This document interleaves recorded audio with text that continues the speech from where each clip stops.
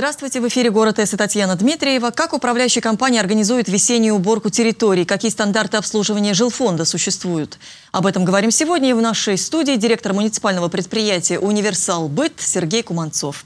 Здравствуйте, Сергей Иванович. Добрый день. Расскажите про ваше предприятие, что оно из себя представляет и какие характеристики важны для управляющей компании? Что там должно быть? Вот что из себя представляет? Наша компания сравнительно молодая. Мы по заданию губернатора и мэра города организованы и приступили к работе с августа месяца прошлого года, э, получили лицензию и приступили, вошли э, в эксплуатацию содержания жилого фонда Красноглинского района, вошли по решению комиссии ГОЧС, управляющая компания на тот период, которая обслуживала эти дома, она э, ну, перестала работать, угу. прекратила обслуживать, и мы были вынуждены вот на этих условиях войти в управление. Начинали нашу работу практически с чистого листа – не было ни места, ни техники, ничего. Ну вот э, в данном случае э, большую поддержку, безусловно, оказала администрация города. Значит, на сегодняшний день мы имеем э, в хозведении и помещение, и имеем техническое оснащение, имеем спецтехнику. Мы приступили к обслуживанию жилого фонда по конкурсу э, в сентябре в конце августа и в сентябре. И э, взяли на обслуживание 600, э, сегодня мы обслуживаем 667 домов. Это Кировский и э, Красноглинский район. Немножечко у нас есть кусочек в промышленном, там совсем немножко, 12 домиков у нас. Вот. В основном вот мы сосредоточены на обслуживании вот этого жилого фонда. И, э, вот этот... у каждого района есть своя специфика. Вот Кировский такой промышленный, да, и Красноглинский совершенно другой. Вот как вы с этим справляетесь? И вообще вот есть какая-то специфика, что вы работаете, и у вас основной жилфонд вот такой-то? Мы, э, в общем-то, стараемся, не то что стараемся, мы подходим к обоим районам одинаково. Жители угу. у нас все равны.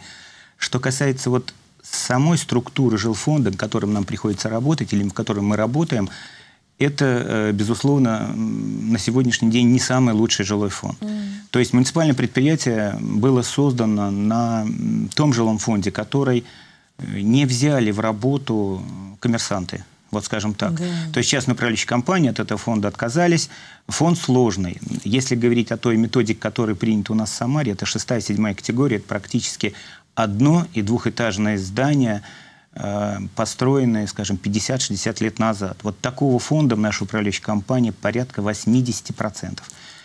И вот э, на сегодняшний день, когда мы приступили к эксплуатации этого фонда, безусловно, очень много вопросов стоит перед нами, но тем не менее, вот если посмотреть э, на прошлый год, как мы начали угу. работать, как отработали зиму, я бы сказал, что э, вот то, что мы планировали, то, что мы пытались, скажем, создать, организовать на сегодняшний день, э, мне кажется, что получилось. Получилось... А знаете еще, Сергей Иванович, вот показатель какой. Если с других, от других управляющих компаний дома отказываются, а переходят вот вашу, например, то это говорит о том, что у вас уже есть свое лицо, доверие. Такого еще не случилось? Случилось. А, даже я, есть? Да, я э, как бы ну, не хочу э, как бы, но говорить есть, о том... Но факты есть, э, да? Да, у нас уже пришли три дома, к нам подошли три дома, мы пообщались, и эти дома сейчас перешли к нам в управление. Есть такие случаи, но мы не ставим задачу Набрать больше, перед собой, да, да вот такую экспансию, там кого-то с рынка вытеснить. Понятно. Перед нами четко поставлена задача э, организовать работу вот на том фонде, который есть. И у нас на сегодняшний день очень много работы. Мы говорим о том, что предприятие работает всего 6 месяцев, а у нас не было времени ни на раскачку, ни... Э, практически мы э, приступили к работе, это в тот период, когда город запускал тепло. Mm-hmm. То есть мы должны были запускаться прям с нуля. И предприятие справилось. Мы запустили отопление – это нам большая наша была первая такая серьезная работа. Мы запустили отопление э, в те сроки э, по постановлению главы города, который определил глава. То есть мы ни на день, ни на день не вышли из графика. И э, даже были случаи, когда мы помогали вот, э, по пуску тепла э, соседнему нашему предприятию. Там тоже были проблемы, мы помогали. Да. И еще один такой серьезный момент, когда я говорю о том, что предприятие состоялось, да, я говорю о том, что вот закончился вот этот зимний период. Зима была непростая. -huh. Были дни, как, или дни, когда э, снеговой покров, снег выпадал э, достаточно серьезно, да. достаточно серьезно. Это вот была та проверка, о которой я говорю. Э, проверка на прочность. Да. И э, нашим сотрудникам, и дворникам, и механизаторам приходилось работать, начинать работу свою тогда, когда еще город спал. Мы начинали работать вот э, с четырех, с трех утра. И э, практически, практически вот на тех территориях, на которых мы работали, э, замечаний э, таких серьезных не было. Вот та техника, которая у нас есть на сегодняшний день, э, вот то, что нам удалось организовать, э, позволяет, позволяет за сутки пройти всю нашу закрепленную территорию при выпадании снега где-то около 10 сантиметров. Если это скажем, сильные снегопады, которых было вот два или там, скажем, два с половиной в этом году, да, то это до 20 сантиметров, то вот такой покров, такой снегопад, такой снегопад мы отрабатываем где-то, все территории по одному разу мы отрабатываем где-то за двое суток. Но это говорит о том, что норматив значительно больше. Это говорит о том, что мы э, ну, не прекращаем, безусловно, работать. Мы опять возвращаемся и, скажем, продолжаем где-то что-то поправлять, потому что, скажем, не всегда получается все так, как хотелось бы. Почему? Потому что много проблем всяких – и где и наши товарищи не очень хорошо там себя показывают, но и где и собственники, жители домов оставляют технику на ночь, и очень тяжело работать в снегопады, когда техника стоит у двора, у домов, да. и техника габаритная. Вот важно, вот да, опасно. взаимопонимание с жильцами, собственниками жиль... Э, жилья найти, чтобы вот не было таких препятствий, чтобы не оставляли, не бросали машины на дорогах, в дворах и так далее. Вот, вот так, такая еще, работа да. и ведется, такая работа ведется, но, как правило, 4 утра ее не проведешь. Вот проходим разово, а уже потом, когда где-то понимаем, что не получается что-то, здесь уже, конечно, привлекаем и старших по домам, пытаемся как-то, э, чтобы нам обозначили время, когда лучше почистить дворы. Бывают такие mm-hmm. случаи, достаточно нормально все это работает. По кровлям, вот в этом году тоже хотелось бы сказать, что мы практически все кровли, а, у нас скатные кровли, это двухэтажные угу. дома. Ну, представляете, да? да? Пятиэтажные, двухэтажные. Так вот, э, мы прошли э, два с половиной-три раза. Кровли почистили. Мы Там можем... же тоже вот много жалоб возникает от самих же жильцов. Говорят, что пробивают вот некоторые такие работники кровлю, что потом они почистят и начинают весной заливать Ну, бывает всякое. Квартиры. Бывает всякое. Вот. Но здесь, мне кажется, угу лучше почистить, потому что это жизнь людей, угу. это жизнь людей, да. это безопасность людей. И вот нам в этом году удалось э, сделать, я считаю, э, то, что у нас э, вот в результате той работы, которую мы провели, э, у нас все получилось, и вот на этих домах, которые мы эксплуатируем, не было ни одного несчастного случая, чтобы там что-то упало. Да, ой, да даже это вот, прямо... очень, да, это очень серьезный такой вот момент, показатель. Но, э, безусловно, безусловно, работать пришлось всем много. Это... А у вас нет вакансий? Потому что вот э, часто говорят, что зарплаты небольшие в сфере ЖКХ, вот, у тех же дворников, работников. Сегодня вы укомплектованы, штат? Или все-таки в ком-то нуждаетесь? Вот воспользовавшись эфиром, можете пригласить даже, если нужны специалисты. Эм. Нет такой проблемы? Что касается дворников, это такой интересный вопрос, больной. И по городу, в общем, стандартная да. формулировка всегда у всех 50% укомплектованность дворников. Mm. И как бы все на этом.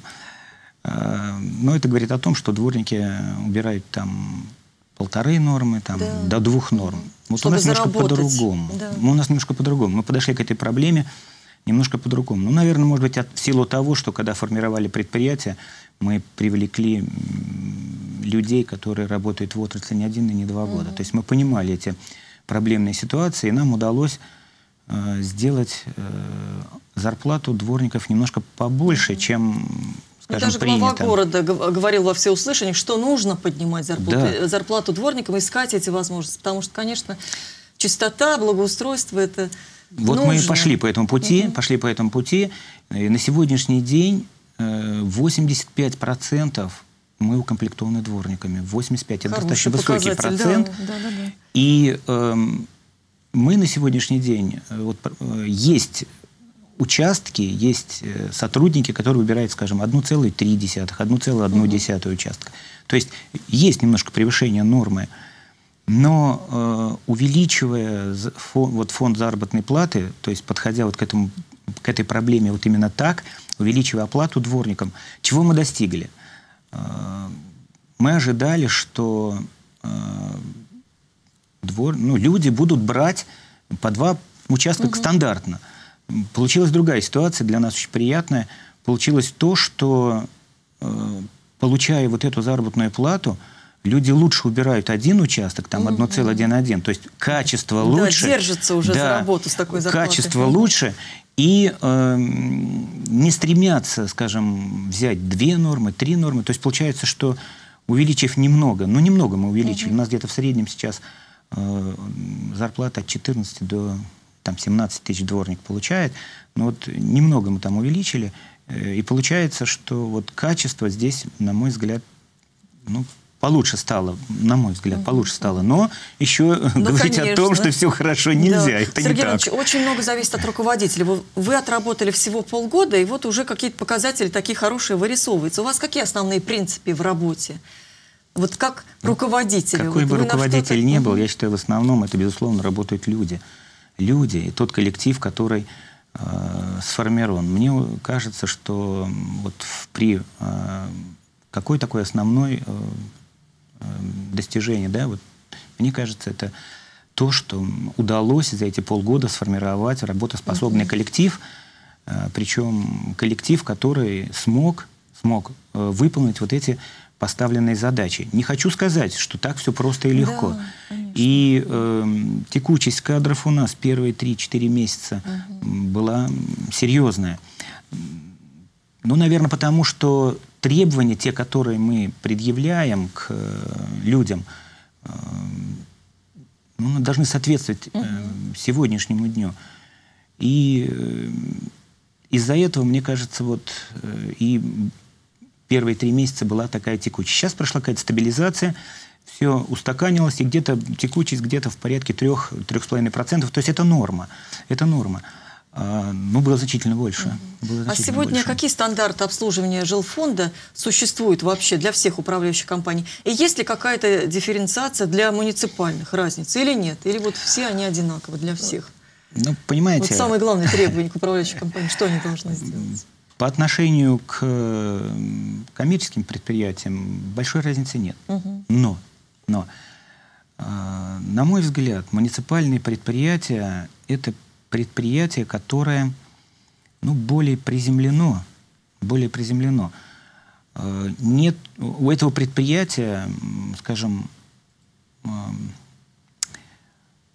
контроль со стороны администрации, раз, учредитель, угу. департамент э, имущественных отношений города, да, департамент управления имуществом города, да, то есть это о чем говорит? Это говорит о том, что Про, средства... Произвола уже никто не допустит, да, вот такого, как жалуются жильцы, что вот частники приходят, только деньги, деньги платим, платим, а тут и не сделано, и тут и не дозвонишься, не дозовешься и так далее. Вот есть такой вот перекос. Очень интересный момент. Смотрите, если мы говорим про муниципальные угу. предприятия, да, то мы по прошлому году, вот тот кусочек времени, который отработали, мы сработали, немножко заработали прибыль. Так вот, э, эта прибыль, эта прибыль, поскольку у меня департамент управления имуществом, мы э, с этой прибылью делимся с бюджетом.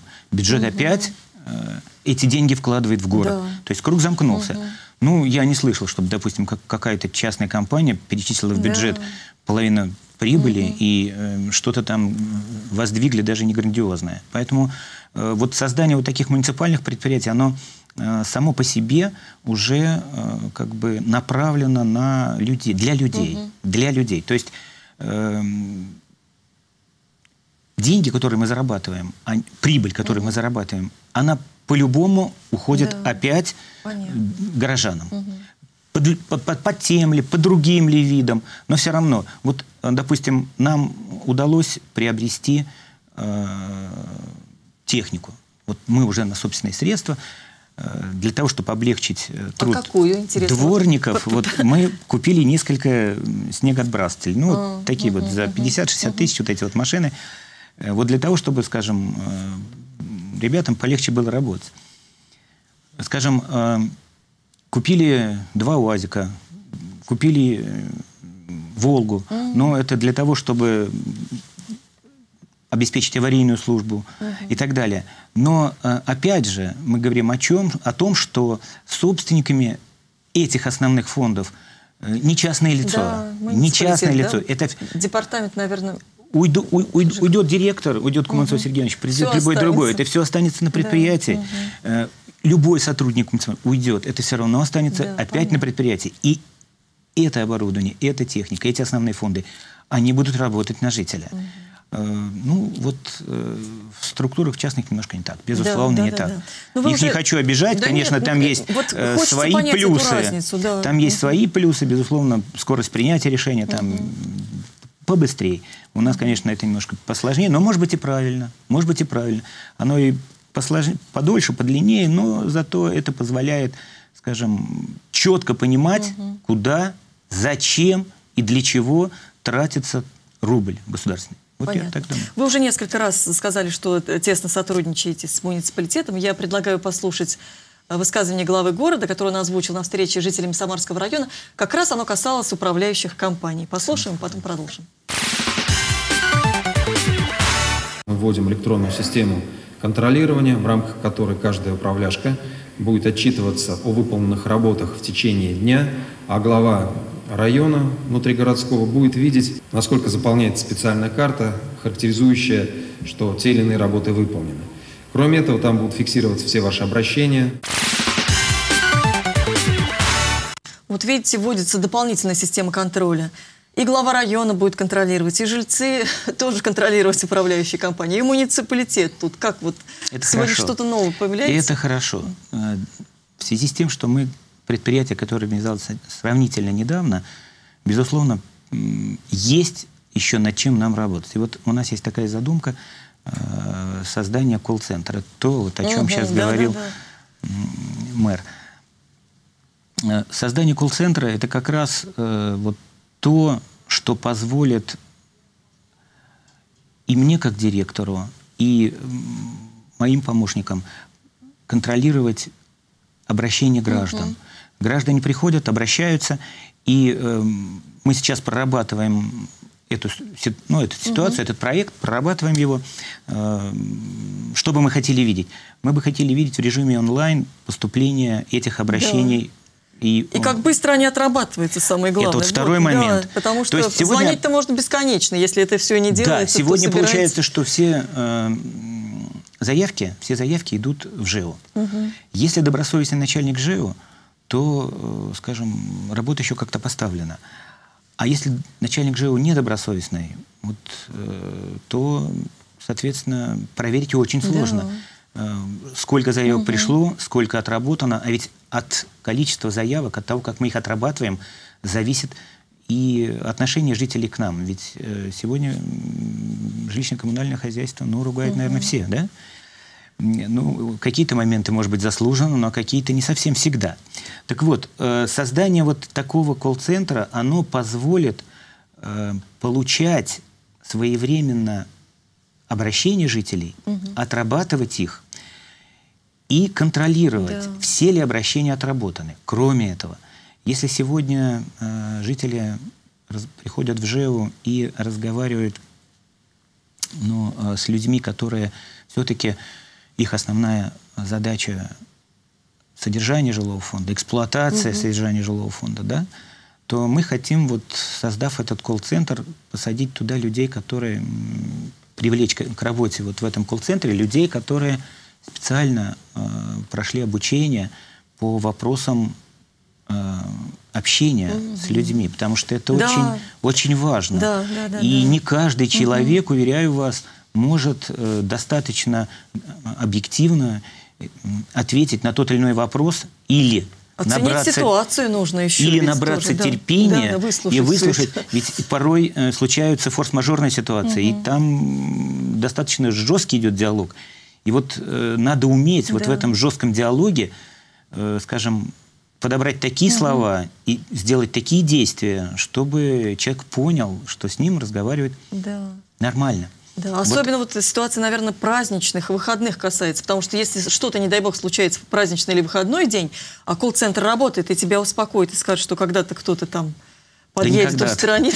Татьяна, не когда-то. Я хочу сказать, что у нас э, организована круглосуточная аварийная служба и 365 дней в году. То есть у нас... Э, и вот это тоже мы э, хотим и довели уже до жителей. У нас есть сайт, кстати, вот угу. пользуясь случаем говорю. Да. У нас есть сайт в интернете, там есть все адреса и все угу. телефоны, куда обращаться, как обращаться, э, по каким случаям и так далее.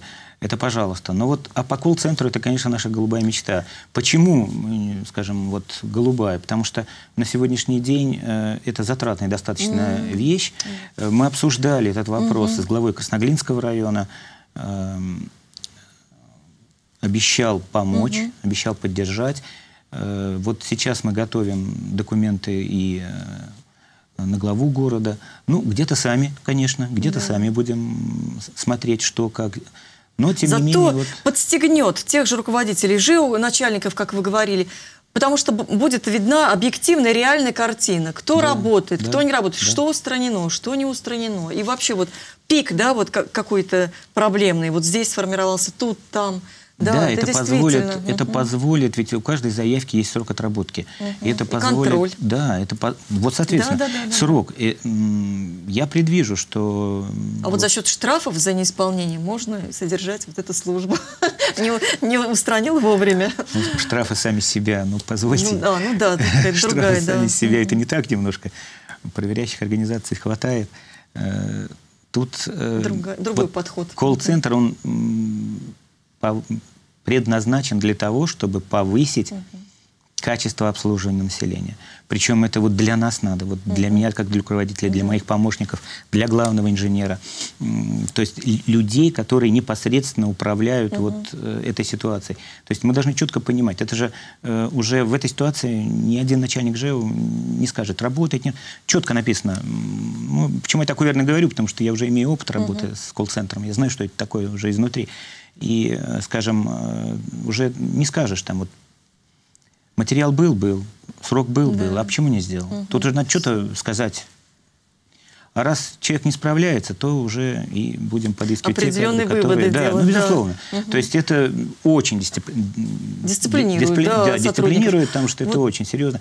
И э, вот уж говорить опираясь на опыт, то опять же хочу сказать о том, что э, мы ждем, мы ждем, что вот как месяца 3-4 мы себе поставили вот в перспективе создать колл-центр, мы ждем, что поток обращений будет, конечно, расти в первые дни особенно. Угу.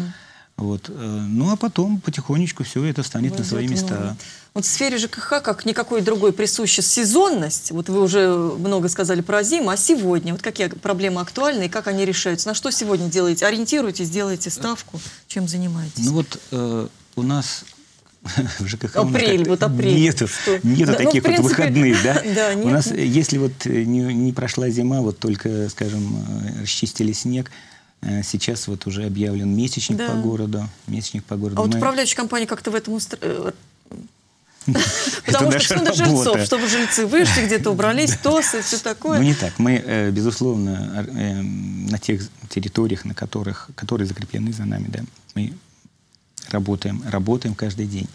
Работаем каждый день. Значит, проводим средники. Средники – это когда наше предприятие закрывается, и все инженерно-технические работники mm-hmm. выходят Э, на какой-то адрес, там, на два, на три адреса, и работаем. Вот был Гагаринский субботник, мы принимали активное участие и в Кировском uh -huh. районе, и в, Пром... э, и в э, Красноглинском районе. Э, в Красноглинском районе работали на Кузнецова 13. Выходила uh -huh. и старшая по дому к нам, э, в Юн Лидельсанна. Общались, смотрели, как, что, как сделать ситуацию на этом доме лучше, Эм, ну, у нас э, так случилось, что она приходила перед этим к нам на прием, рассказала ряд болевых точек. Нам удалось на вот э, этом субботнике организовать так работу, что вот ее обращение было услышано, и мы там э, тот объем работы, который был, был к нам апеллирован, мы его сделали. Замечательно получилось. Вот побольше бы таких неравнодушных людей. Так вот, субботники – так вот, э, сейчас, вот 23 апреля, пользуясь случаем, да, пользуясь случаем, э, приглашаю всех жителей э, неравнодушных выйти и вместе с нами навести порядок mm-hmm. в городе. Что касается вот Гагаринского субботника, который прошел, Вы знаете, мы... Ну, мне удалось побывать и в Красноглинском, и в Кировском районе. Я был приятно удивлен на мехзаводе. Вот меня что удивило в четвертом квартале, угу. на втором квартале.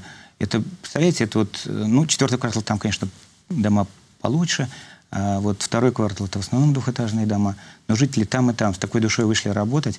У нас э, для жителей, которые работают на вот наших территориях, у нас по ЖЭУ, вот и сейчас говорю, угу. в следующий субботник и в средник, пожалуйста, приходите. Э, этот инструмент да. весь есть, угу. перчатки, все для того, чтобы вместе поработать и по Э, навести порядок угу. вот на этих территориях. Но вот что меня вот удивило, не то, что удивило, а Порад, был, порадовало, порадовало, вот порадовало, то, что э, очень хорошо работал мехзавод, мне понравилось, и мы э, постарались, вот тот объем, который был сделан, постарались там в этот же день э, убрать, вывести. Ну, правда, получилось не все, есть вопросы, продолжаем работать. И надеюсь, что этот вот субботник 23 апреля будет, пройдет не хуже. А еще, наверное, даже веселее, потому что уже какие-то традиции стали да, в этой связи да, да, организовываться. Да, да. Еще вот очень много злободневных тем, как управляющие компании участвуют в капремонте, потому что вот с капремонтом тоже вот не очень хорошая ситуация в ну, целом это... складывается, люди как-то э, кто платит, кто не платит, кто понимает зачем, кто протестует, говорит, что уже пожилой и не знаю, когда что сделают. Вот это вот и управляющие компании как-то могут участвовать в, этом, в, в, в этих работах или нет? Ну вот, вот какой путь? Это вообще тема отдельного разговора да. и очень серьезного. Угу. В пяти минутах об этом сложно сказать. Ну, попытаюсь вот... Вот очень коротко. Коротко, не так да. Много Дело в том, что сам по себе капитальный ремонт, который проходит на домах, он, безусловно, должен проходить э, совместно с управляющей компанией. То есть управляющая компания должна участвовать в приемке работ. Угу. Обязательно, потому что э, очень много случаев, когда капитальный ремонт прошел, э, порядная организация ушла, никому ничего не передали, приходит эксплуатационная организация, а там и крыша течет. Ну, угу. в общем, сделано все не совсем по технологии. То есть вот для этого, конечно, безусловно, надо вот чтобы Нужно это участвовать. да участвовать. И вот в угу. этой связи, в этой связи мы в этом году, в этом году попытаемся участвовать в конкурсе конкурсе капитального ремонта, который объявляет рекоператор. Не знаю, конечно, как угу. получится, э, но такие документы мы будем подавать. Да. Там уже как угу. судьба решит. Да, да, да. Но мы вот хотим участвовать вот только на том жилом фонде, который эксплуатируем сами. Угу. Вообще было бы здорово. Да, потому что потом бы... же вы будете его дальше эксплуатировать да. и все понимаете и видите. Да, да. Еще очень коротко, минутка остается. Отчетность перед жильцами, потому что многие жалуются, вот, э, особенно в отношении частников, что сдают деньги, а как они распределяются, куда ходят, не знают. И когда какие работы, тоже непонятно будут вестись. У вас как выстроена вот эта вот схема? Значит, отчетность. Ну, по закону мы в конце, значит, за отработанный год, угу. у нас еще его нет. Да, у нас его еще нет. По истечении года. Да, понятно. мы в следующий квартал угу. должны по истечении года отчитаться перед жителями, отправить им отчет. Такие отчеты у нас тоже есть. Э, как мы сформируем свои планы, как мы формируем работы. Значит, э, мы вместе с жителями, вместе с жителями пообщались, и старшие по домам, угу. совет многоквартирного дома, на собраниях утвердили протоколы, угу. это планы предложения по текущему ремонту на 2016 год. Мы все это дело обобщили. обобщили. У нас на сегодняшний день есть план текущего ремонта годовой. Угу. И планируем эти работы ежемесячно. И уже здесь смотрим, если какая-то аварийная ситуация, но она не терпит декабря, значит, мы ее делаем сейчас, немедленно. Если что-то можно отодвинуть, двигаем. И э, работаем вот здесь вместе, опять же, тесно в контакте со старшими по домам, да. те, которые Налажена вот эта работа, да? Пытаемся налаживать, да, да, да, но потому что сказать, тоже что все решено нельзя, старших но... по домам да. тоже существует, но да. это уже со стороны жильцов. Спасибо огромное за то, что пришли, рассказали о своем предприятии, все понятно, и, и ваши ориентиры тоже как бы очень достойно. Спасибо еще раз, спасибо и вам за внимание, всего хорошего, до свидания. До свидания.